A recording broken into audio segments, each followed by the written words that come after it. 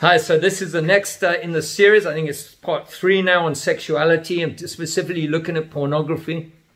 And we've heard in the past series how pornography, especially, is a scheme of the devil to destroy marriages, to destroy Christian life, it destroys health. And it's uh, we need to be taking our stand against the scheme of the devil because the devil's a liar. We know that. And he just comes to rob, kill, and destroy. Jesus came that we should have life. And that's what Jesus wants for you and for me to have joyful, abundant, full life.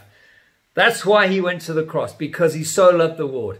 So loved you, so we were worth the price. So, my brothers and sisters, let's get set free. If you have a pornography problem, if you have a secret sexuality problem, bring it into the light. As John 1 John chapter 1 says, if we walk in the light as he is in the light, we have true fellowship with one another.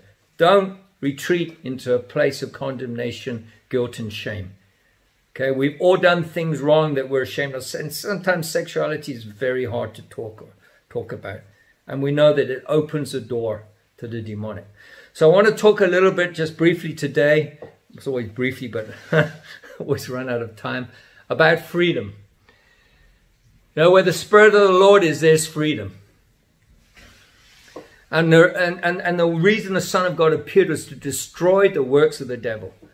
And this perverse sexuality is a work of the devil. Remember, sex within marriage is beautiful, righteous, and should be enjoyed to the full. And if you don't have a good sex life, it's one of the best things you can do for your marriage is sort that out. Get some help.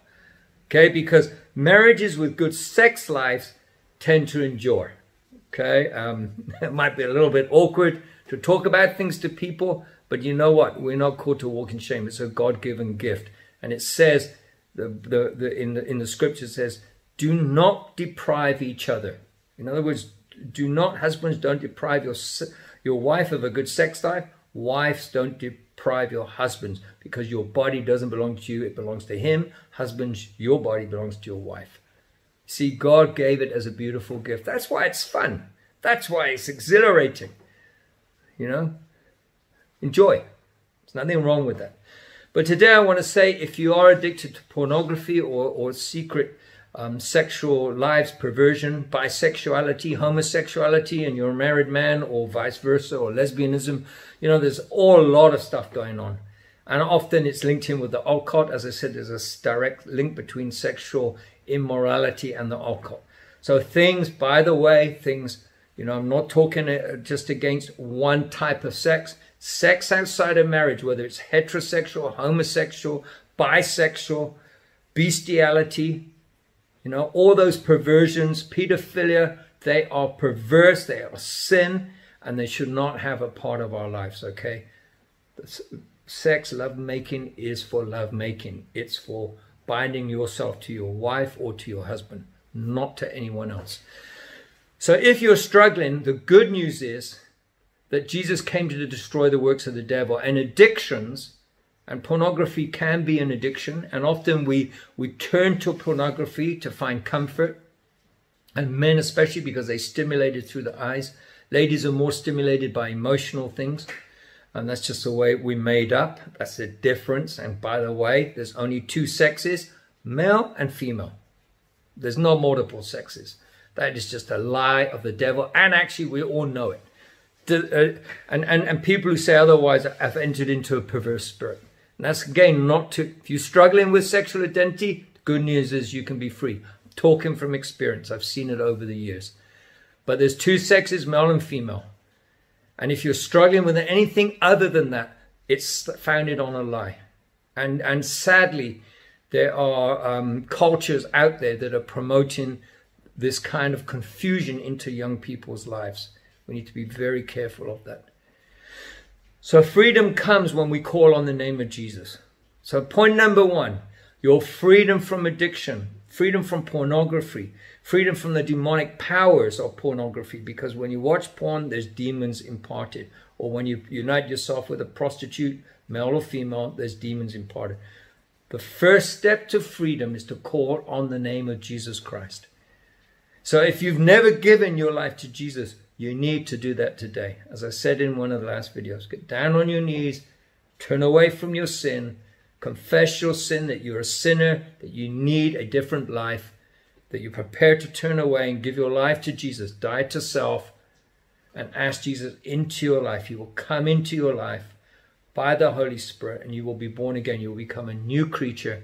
The old will go and the new will come. You will be a new creation, a new spirit, spiritual, physical being.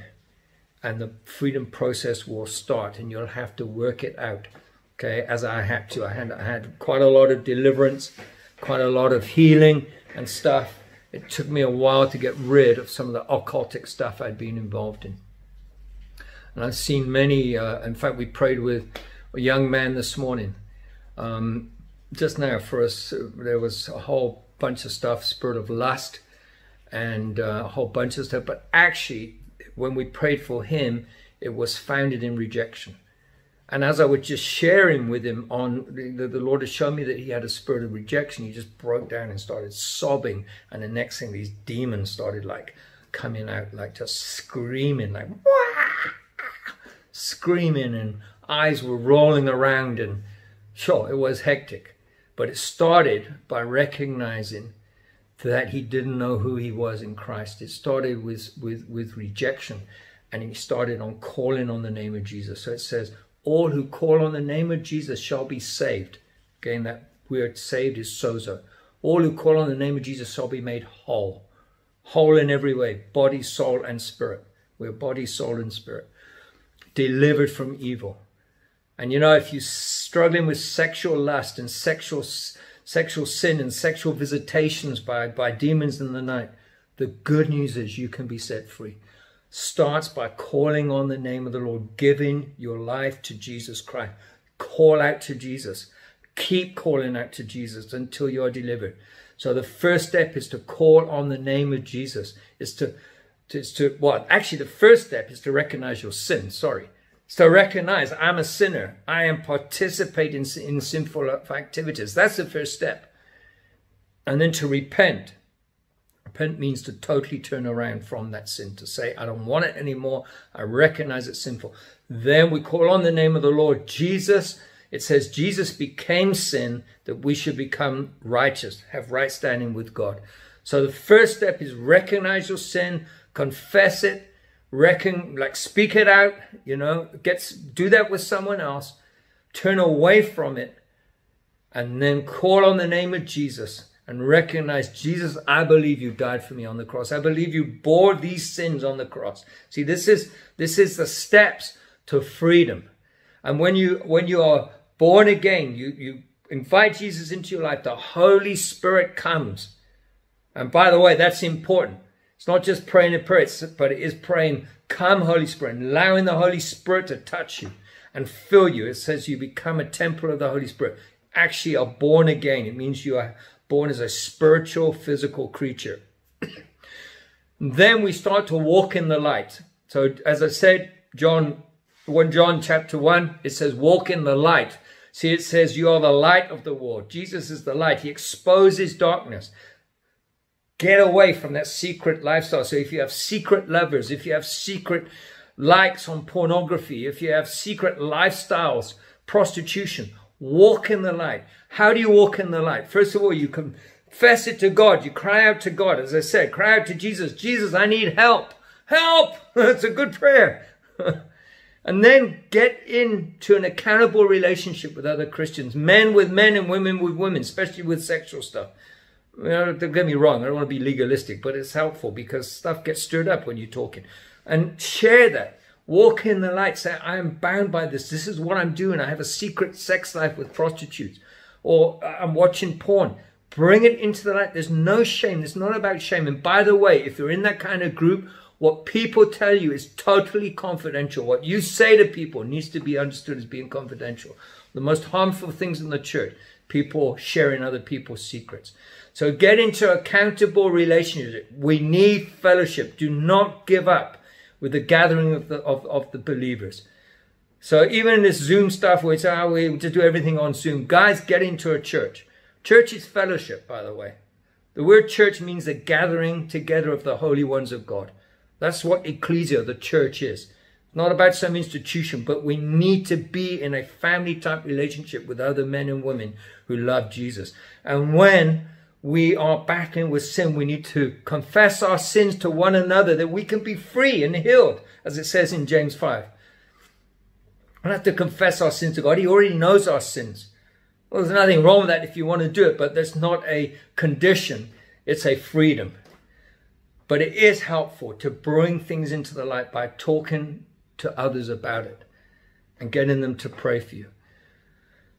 So once we've given our, when we recognized our sin, we've given, we've called, our, called on the name of Jesus and given our lives to Jesus, then the Holy Spirit comes, and where the Spirit of the Lord is, there is freedom and there is liberty because Jesus, where the Spirit is, as it says in Isaiah 61, where the Spirit of the Lord is, okay, where the anointing of God is, there's freedom for those who are captive to addictions, Okay, and, and there's freedom for the prisoners. If you're imprisoned by these secret things, these shameful things, Jesus came to bring freedom.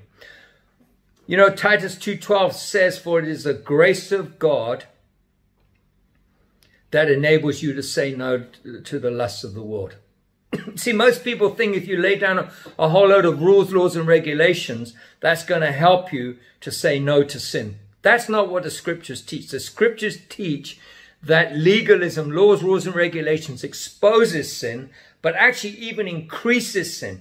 But then it says where sin increases, grace will increase even more. It is grace that sets us off up from sin, sets us free from sin. It is the law that exposes sin. So the purpose of the law is to expose sin. So you know, hey, it says in the law, do not commit adultery. Ha, broken the law. I need grace to overcome. That's, that is the step. It's not law that sets us free from sin. It's grace, God's goodness, God's love, the atoning work of Jesus Christ on the cross who became sin that we should become the righteousness of God. Love it. So we need to enter into understanding of grace. I find people who have grown up in legalistic religion are often immoral. And we see that in the church all the time, by the way. People are like, oh, what's wrong with these with these guys, men of God, going off with their secretaries and, you know, having affairs. Often it's because they've entered into immorality, uh, sorry, into legalism, or they have not recognized the scheme of the devil with it, who, who, often comes at men with sexual temptation. Those, those are two of the things. And, as, and men and women of God, we need to recognize, okay, that legalism stirs up sin and often leads to sexual immorality. And temptation is often of a sexual nature. We need to resist that. And again, I think I shared with you before. If I feel sexually tempted by um, some woman or even some man, geez, I can't even say that. Not that that happens, but you can these days, hey, because they're sexual spirits. You'll feel, but often, I don't know if you've met people and you just feel, flip, this person, this guy so sexual or this woman's so sexual. It's actually it's actually not that person, it's a demon in them. Sexual seducing spirit. Seducing spirits are very common. I go and I confess that to my wife, and it kills it dead. So we need to be in accountable relationships with your wife or a prayer partner if you're not married, where we can bring this stuff into the light. We need to be in grace. We need to understand we are saved by grace, not by law. If you are living out religious religiosity, you're in trouble. So get into grace, understand grace. We are saved by grace, we are maintained by grace, and we receive eternal life through grace. It's all God's free gift. If you think you can do it by yourself, good luck. You can try. You ain't going to make it. You won't make it. I promise you. If God, and let me tell you my life, if God lets go of me, I'm lost. I don't depend on my effort. I, I do want to please God. I do want to live righteously. But let me tell you something, there's times in my life where I can't do it. And I don't lose my salvation when that happens because God is faithful to me. So get into, give your life to Jesus, recognize your sin, give your life to Jesus, call on the name of Jesus, walk in the light, be in accountable relationships, find yourself in grace, get rid of legalism, understand your identity as a child of God. Yes, we are called to serve God, but we are not servants nor slaves. We are children of God who are slaves to righteousness, who serve our Father, but our identity is children of God.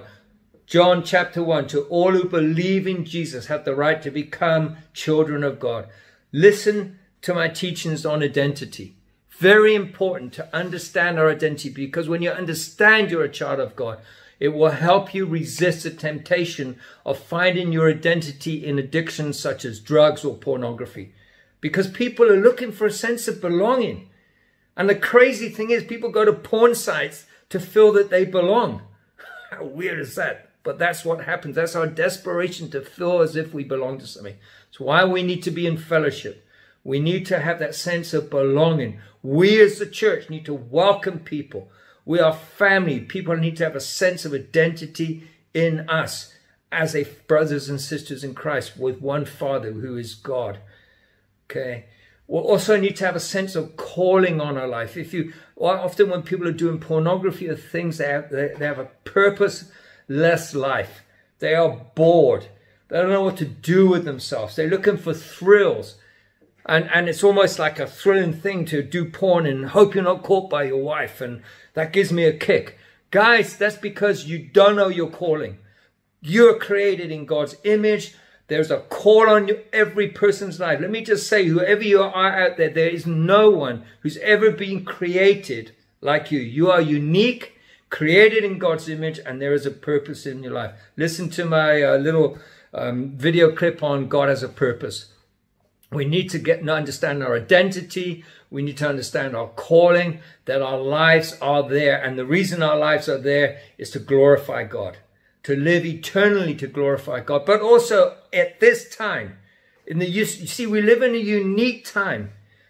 After after eternal life comes, we're not going to have this time now. The time we live in is the time to destroy the works of the devil. See, the devil and his dominions are going to pass away. In, in, in, heaven, we're not going to have this, but now we are called to destroy the works of the devil and the evil and the evil works pornography, immorality, transgenderism, and all this. It's all works of the devil, lies of the devil. And that's not to condemn anybody. Let me say, whoever you are out there, whatever you're struggling with, I love you. I am not saying this to hurt you or condemn you. I'm saying it because I was someone that was bound up in this stuff. And I came into the glorious freedom of Jesus Christ. And I want the same for you because I love you. God loves you even more. That's even better news. I don't know you, He knows you. But what I do know, you're created in the image of God, and because of that, I love you. And I'm, that's why I'm sharing this stuff. I'm speaking bluntly because sometimes truth needs to be spoken quite directly in love. I'm not saying it because I set myself up above everyone else. I'm not. I know that I'm capable of the most debased acts unless God keeps hold of me. Without God, I want to tell you, I will descend into every type of immorality available. I know that it's only the grace of God that keeps me out of those things. And the good news is, He wants to help you to come out of them and stay out of them. Guys and girls, do not believe that you are slaves to sin. If you are born again and saved, truly born again and saved, you are righteous and you are a slave to righteous. You cannot help but do right. Let me say, if you are struggling with an ongoing life, sinful lifestyle, and you can't help yourself, doesn't matter if you call yourself a Christian. I don't believe you're saved. I don't believe you've truly given your life to Jesus. Because if you have, it says you will not continue in sin. You know, you will sin from now and again, but you will not willingly embrace because the conviction of the Holy Spirit will be there. He, he, he'll be, be driving you to get help.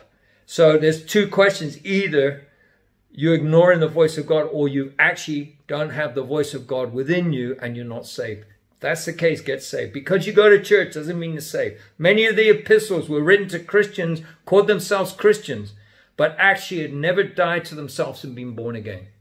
And that may apply to you if you're bound in an addictive, sinful lifestyle and can't get out of it.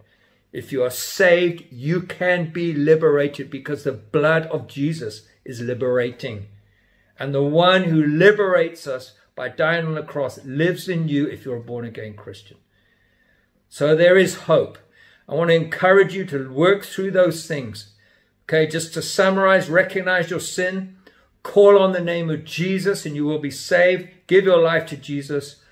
Confess your sins and repent of them. In other words, bring them into the light. Have an accountable relationship with other Christians, spirit filled Christians.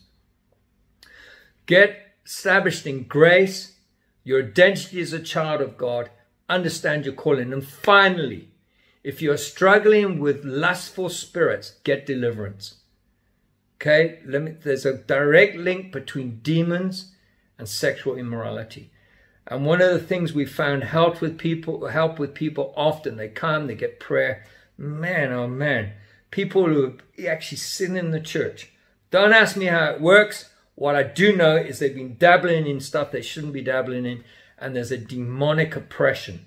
They cannot be possessed, they belong to Jesus. But there can be an oppression and a robbing, and that happens through demons get some deliverance. Get together with a few people. You can call me anywhere in the world. We have teams that pray with people. We pray for people over Zoom, or we can link you in with a local church. Um, deliverance from demonic spirits is important. They are real. Don't be kidded into kidded into thinking that demons aren't real. They're real. One third of Jesus' ministry was the casting out of demons and the healing that went with it. Guys, this is good news. God loves you. God wants to see you free. I love you too. And if I can help you in any way, please let me know.